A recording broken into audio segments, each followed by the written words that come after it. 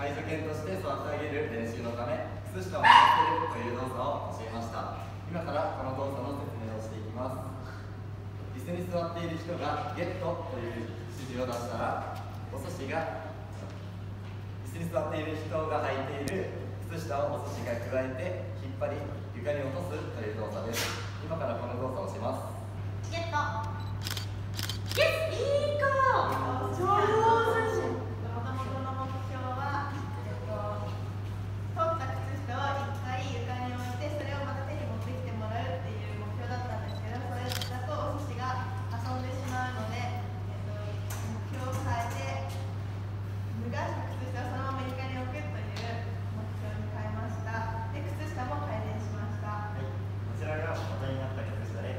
から帰らされた